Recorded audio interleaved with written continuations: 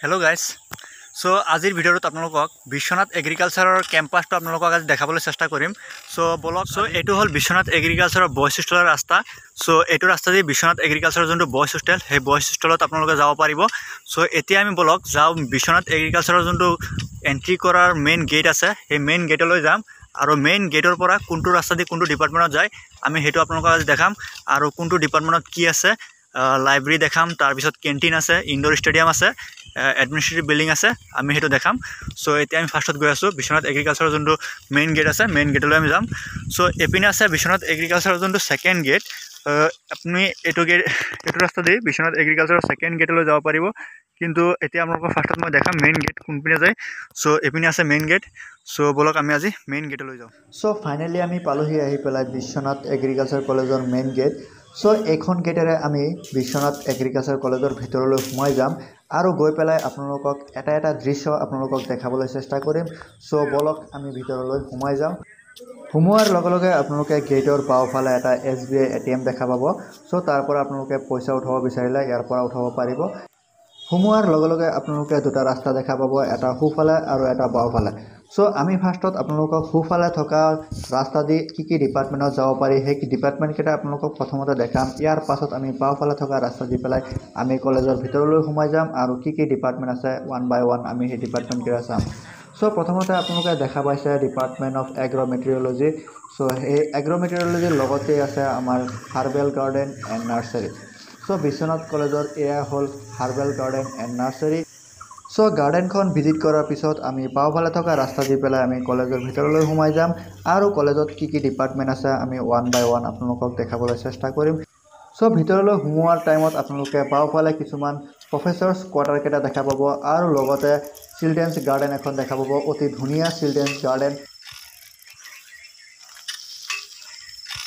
গাৰ্ডেনখন visit কৰাৰ পিছত গাৰ্ডেনখনৰ লগতে আপোনালোকে দেখা পাব এখন ডাঙৰ ছাইনবোৰ্ড সেই ছাইনবোৰ্ডখনত লিখা আছে আপোনালোকে ভিতৰত সোমাই গ'লে কি কি ডিপাৰ্টমেণ্টকেইটা দেখা পাব? এডমিনিষ্ট্ৰেটিভ বিল্ডিঙক আদি কৰি হোষ্টেল গেষ্ট হাউচ ইত্যাদি আপোনালোকে ভিতৰত গ'লে দেখা পাব। চ' এয়া ছাইনবোৰ্ডটো দেখিলে আপোনালোকে গম পাব। চ' ইয়াৰ পিছত আমি দেখা পাম মেডিকেল ইউনিট চ' মেডিকেল ইউনিটৰ লগতে আছে আমাৰ বিশ্বনাথ এগ্ৰিকালচাৰ কলেজৰ জিম চেণ্টাৰ চ' আজি আমি জিম চেণ্টাৰৰ ভিতৰত সোমাই গৈ আপোনালোকক বিশ্বনাথ এগ্ৰিকালচাৰ কলেজৰ জিম চেণ্টাৰটো এবাৰ দেখাবলৈ মই চেষ্টা কৰিম। চ' বলক আমি জিম চেণ্টাৰৰ ভিতৰলৈ সোমাই যাওঁ।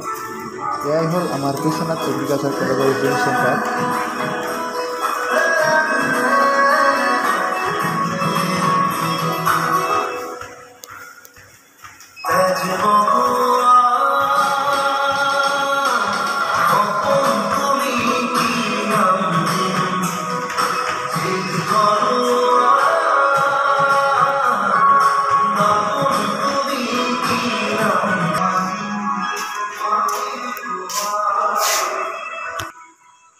জিম চেণ্টাৰখন ভিজিট কৰাৰ পিছত এইবাৰ আমি আগবাঢ়ি যাম এডমিনিষ্ট্ৰেটিভ বিল্ডিঙৰ ফালে আৰু আমাৰ বাকী ডিপাৰ্টমেণ্টকেইটাৰ ফালে।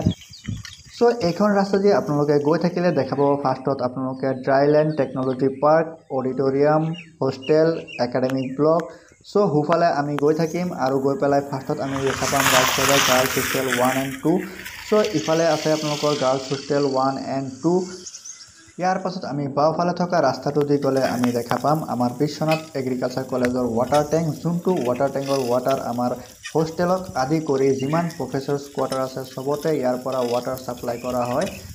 ৱাটাৰ টেংকৰ ঠিক লগতে আছে আমাৰ ডিপাৰ্টমেণ্ট অফ এনিমেল হাজবেণ্ডেৰী আৰু আমাৰ পুৰণা কেণ্টিনখন কেণ্টিনখন পাৰ হোৱাৰ পিছত আমি আমাৰ বিশ্বনাথ এগ্ৰিকালচাৰ কলেজৰ মষ্ট বিউটিফুল প্লেচখন আমি পাইছোঁ।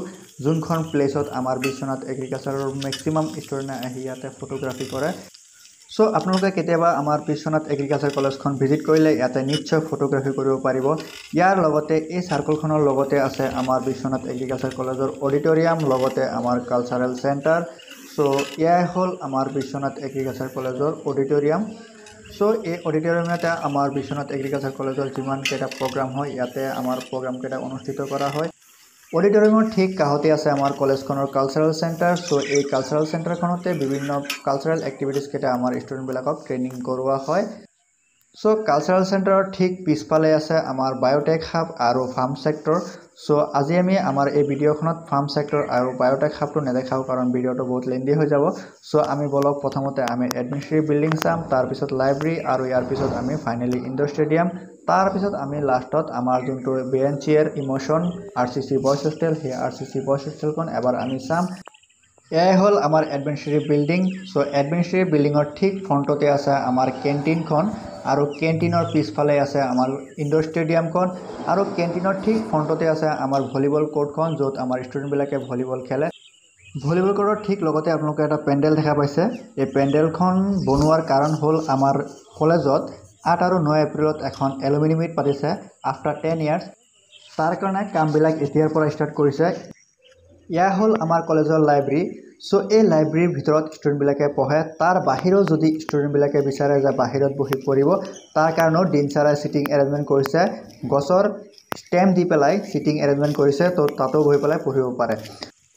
চ' এয়া হ'ল আমাৰ বিশ্বনাথ এগ্ৰিকালচাৰ কলেজৰ এগ্ৰনমি ডিপাৰ্টমেণ্টৰ ক্ৰফ কেফেটেৰিয়া চ' এই ক্ৰফ কেফেটেৰিয়াৰ চিধা অপজিট ছাইডতে আছে আমাৰ এডমিনিষ্ট্ৰেটিভ বিল্ডিংখন চ' বলক আমি এডমিনিষ্ট্ৰেটিভ বিল্ডিংখন আপোনালোকক এবাৰ দেখাওঁ। চ' এইখনেই হ'ল আমাৰ বিশ্বনাথ এগ্ৰিকালচাৰ কলেজৰ এডমিনিষ্ট্ৰেটিভ বিল্ডিং এইখন এডমিনিষ্ট্ৰেটিভ বিল্ডিঙতে আমাৰ বিশ্বনাথ এগ্ৰিকালচাৰৰ যিমান অফিচিয়েল কাম আছে সেই অফিচিয়েল কামবিলাক এই বিল্ডিঙতে কৰা হয়। চ' এইবাৰ আপোনালোকক লৈ যাম আমি ইণ্ডোৰ ষ্টেডিয়ামত চ' এয়া হ'ল আমাৰ বিশ্বনাথ এগ্ৰিকালচাৰ কলেজৰ ইণ্ডোৰ ষ্টেডিয়াম চ' এয়া হ'ল বেডমিণ্টন কোৰ্ট চ' এই বেডমিণ্টন কোৰ্টৰ ওপৰতো আমাৰ ইণ্ডোৰ ষ্টেডিয়ামত টেবুল টেনিছৰো ব্যৱস্থা আছে। চ' বলক আপোনালোকক এবাৰ আমি টেবুল টেনিছৰ ব্যৱস্থাটো দেখাওঁ কেনেকুৱা ধৰণৰ। চ' এয়া হ'ল টেবুল টেনিছ বৰ্ড চ' ইয়াত দুটামান টেবুল টেনিছ বৰ্ড আছে। চ' আকৌ এবাৰ আমাৰ ইণ্ডোৰ ষ্টেডিয়ামৰ ভিউটো দেখাইছোঁ। এয়া হ'ল আমাৰ বিশ্বনাথ এগ্ৰিকালচাৰ কলেজৰ ইণ্ডোৰ ষ্টেডিয়াম। চ' এইবাৰ আমি যাম R C C boys hostel. R C C boys hostel যোৱাৰ আগতে ৰাইট ছাইডে যোনটো ৰাস্তা সোমাই গৈছে চ' এই ৰাস্তাটো দি যায় আমাৰ পি জি ষ্টুডেণ্টবিলাকৰ হোষ্টেললৈ আৰু গেষ্ট হাউচ এওঁলোক হ'ল আমাৰ কলেজৰ পি জি ষ্টুডেণ্ট আৰু পিছফালে থকা ছাইনবোৰ্ডখন হ'ল আমাৰ কলেজৰ এগ্ৰনমি ডিপাৰ্টমেণ্টৰ P G experimental field so' এয়া হ'ল আমাৰ কলেজৰ পি জি এক্সপেৰিমেণ্টেল ফিল্ডখন চ' এইবাৰ বলক আমি যাম আমাৰ R C C boys hostel আজি যিহেতু ছানডে চ' হোষ্টেলত ক্লিনিং চলি আছে আৰু তাৰ উপৰিও মই আগতে কৈছোঁ আপোনালোকক আঠ আৰু ন এপ্ৰিলত আমাৰ কলেজৰ এলুমিনি মিট আছে। চ' তাৰ কাৰণেও অলপ প্ৰিপেৰেশ্যন কৰি আছোঁ। চ' আমাৰ ছিনিয়ৰ আৰু জুনিয়ৰ সকলো মিলি পেলাই হোষ্টেলটো যিমান পাৰে চাফ কৰি আছে। চ' এয়া ক্লিনিং কাম চলি আছে।